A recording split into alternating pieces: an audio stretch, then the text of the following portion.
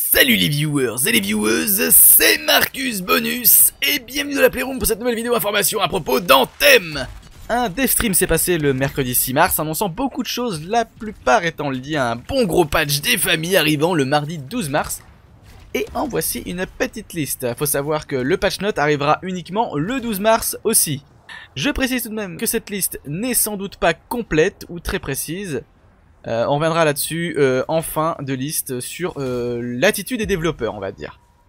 Premièrement, vous en avez sans doute entendu parler, on entend dire que Anthem va tuer votre PS4, c'est entièrement faux.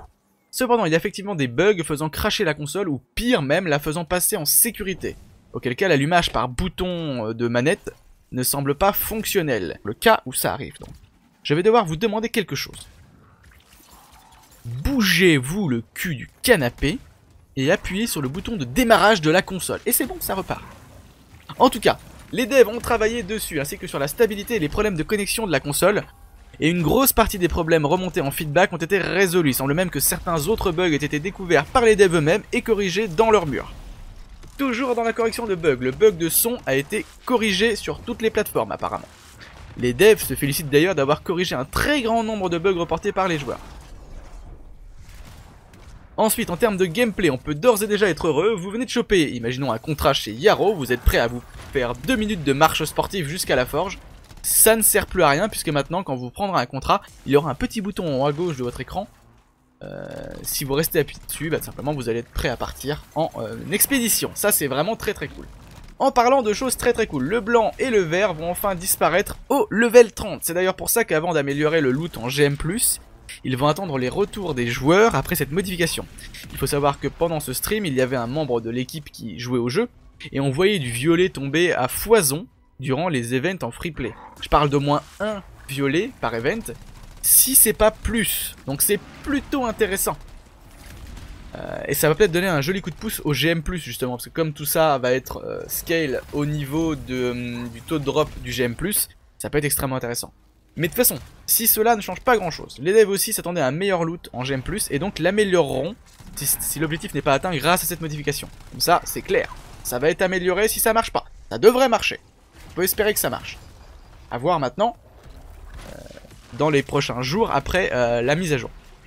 Pour rester sur le loot, les développeurs ont annoncé plusieurs choses. L'amélioration par exemple des capacités de support, ainsi qu'un scaling du magistral et du légendaire pour augmenter votre puissance, et rendre le gameplay plus consistant en GM+. On parle là de la limite de puissance du magistral qui passe de 45 à 61, et le légendaire qui passe de 47 à 65, voire peut-être même 67. Donc extrêmement intéressant. Cela augmente plusieurs choses, votre puissance overall, et donc en GM+, vos dégâts de mêlée et vos dégâts d'ult. La communauté trouvant que euh, ces derniers étaient un peu faibles, par exemple en GM3. Euh, donc voilà, ça, ça devrait être déjà bien boosté. Euh, petite d'attaque de mêlée, certains voudraient que la mêlée du commando soit un détonateur, vous savez que vous puissiez déclencher un combo avec. Ça sera pas le cas, pour la simple et bonne raison que c'est une des features qui le différencie en tant que javelin des autres euh, javelins disponibles en jeu. Euh, bon voilà. Par contre pour le colosse, en parlant toujours de comment d'attaque de mêlée, son shield dash quand vous sprintez avec votre shield ne rebondira plus sur les objets destructibles. Par exemple, vous pourrez défoncer 3, 4, 5, 6, 1 million d'objets de récolte en euh, sprintant dedans. Ça c'est vraiment très très cool pour les joueurs de Colosse. Les armes magistrales auront d'ailleurs une grosse amélioration en termes de dégâts. Alors je ne sais pas si ça arrivera euh, donc sur toutes les armes déjà disponibles ou si ce sera sur les armes uniquement droppées après la mise à jour. Je pense plutôt sur la deuxième option. Euh, et ça fera donc que les armes magistrales seront vraiment une marche vers le légendaire et pas simplement un mur d'escalade qu'il faut 3 heures pour grimper dessus. Toujours dans le stuff et le loot, certaines marques de l'intercepteur ont été corrigées et euh, des inscriptions spécifiques augmenteront la vitesse d'utilisation de la grenade du commando. Ça c'est très intéressant. Aussi, le mur du vent, le mur de vent du tempête ne sera plus buggy. Il empêchait avant le commando de pouvoir loquer ses cibles avec son ult. Euh, ben c'est réglé, tout simplement, comme ça c'est clair. Petit point négatif, parce qu'avec toutes ces améliorations de stats à l'heure actuelle, les devs ne savent pas la fameuse page de stats, vous savez, indiquant par exemple euh, entièrement toutes les stats que vous avez sur votre euh, javelin, arrivera. Sans doute parce qu'ils n'y travaillent pas et donc ils ne savent pas le temps que ça prendra de l'ajouter. Ça c'est vraiment un point noir. Mais bon, on va rester dans l'interface utilisateur. Le problème de la barre d'ult faussement remplie, vous savez, est résolu. Euh, cependant, le problème de la barre de vie, vous savez, qui se... chaque petit cran était rikiki et qui faisait une énorme barre de vie, ne l'est pas. Ça, c'est assez moyen. A noter aussi la disparition du message de système annonçant chaque minute que euh, le serveur va s'éteindre, ça c'est plutôt une bonne chose. Et euh, pareil pour le message qui euh, annonce les fameux défis légionnaires qu'il faut absolument suivre et qui ne s'effacent jamais. Ça c'est vraiment très très bien de l'avoir supprimé. Les devs envisagent de faire apparaître les events sur la map, mais attendent d'abord d'avoir les nouveaux events et les retours à leur sujet. Je trouve ça intéressant, ça veut dire que les events qu'on va avoir vont potentiellement prendre beaucoup plus de place sur la map, ce qui va donner donc lieu à moins de recherches. Ça, assez intéressant. Je parle des événements, euh, des mises à jour, hein, bien sûr. Lors du lancement et du choix de l'expédition, une nouvelle possibilité s'offre aussi à vous, les forteresses aléatoires. Cela permettra sans doute de pallier au lever en ajoutant un joueur souhaitant simplement faire une forteresse de rejoindre une équipe avec un joueur manquant. Ça vraiment très très bien. Pour rester dans les bugs interface, le bug du bouton 4 souris qui ne fonctionne pas, qui ne voulait pas se binder, a été résolu aussi. Donc pour les joueurs PC, excellent. Retournons maintenant dans les combats en forteresse, plus précisément ceux qui vous empêchent de revenir vous battre si vous choisissez de respawn. Par exemple, vous respawnez derrière un mur ou tout simplement vous n'êtes jamais respawn. cela ne sera plus le cas au 12 mars. D'ailleurs, le principe du respawn va être modifié donc entièrement.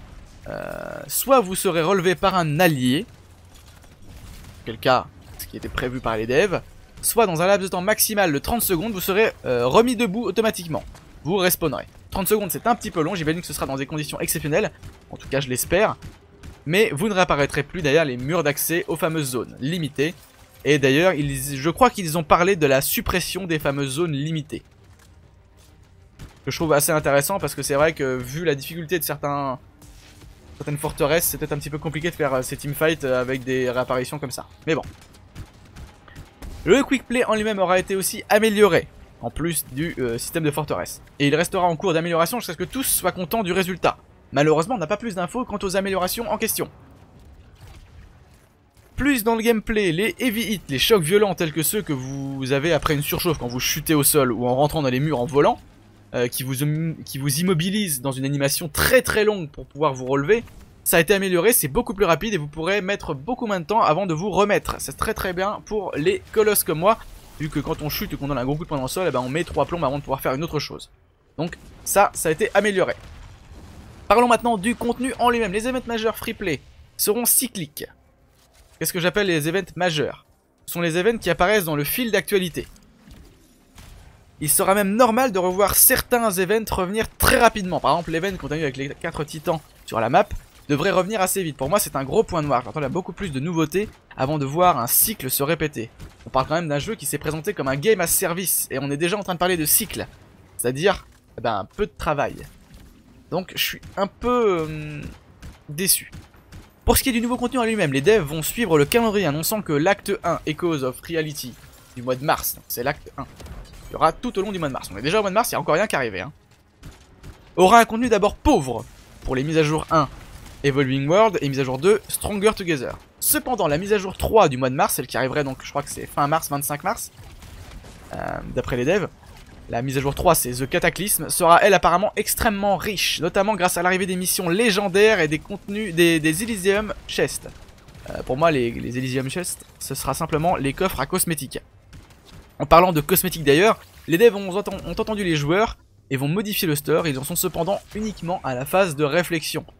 Voilà, overall, ce dont on a entendu parler. Alors moi, qu'est-ce que j'en pense? Déjà, je vous ai dit au tout début que je voulais revenir sur quelques petites choses, principalement, euh, comment dire, la liste, le fait que la liste ne soit pas complète ou très précise. Alors il travaille encore sur le patch note, c'est pour ça qu'il n'arrivera que le 12, encore une fois. Euh, cependant, j'ai trouvé les, développeurs un peu, un peu bizarres, un peu pas sympas vis-à-vis de... Bon, je sais bien que les gens n'ont pas été très sympas vis-à-vis de vis-à-vis du, jeu, mais je les ai trouvés un petit peu soit trop détendu, soit faussement détendu, je sais pas comment je pourrais le dire. Avec 2-3 répliques, ils ont par exemple répliqué à quelqu'un qui disait qu'il n'y avait pas que le jeu était de la merde, grosso modo. Euh, ils ont répliqué euh, avec un rire un petit peu jaune, je trouve. Euh, genre, ils s'en battaient un petit peu les couilles. Je trouve que c'est vraiment pas le moment de rigoler et de faire ce genre de, faire, ce genre de.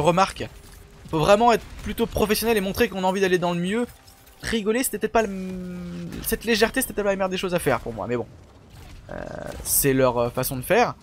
En tout cas, je pense que ce sera un bon gros patch note. Je vous le ferai le patch note intégral le jour de sa, sortie. Comme ça, je pourrai euh, être vraiment beaucoup plus précis que ce que j'ai fait là.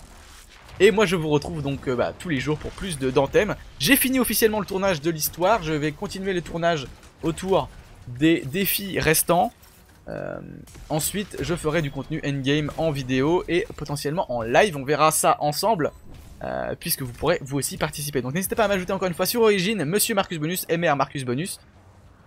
Et moi je vous retrouve donc chaque jour pour plus d'antennes. Salut les gens et yop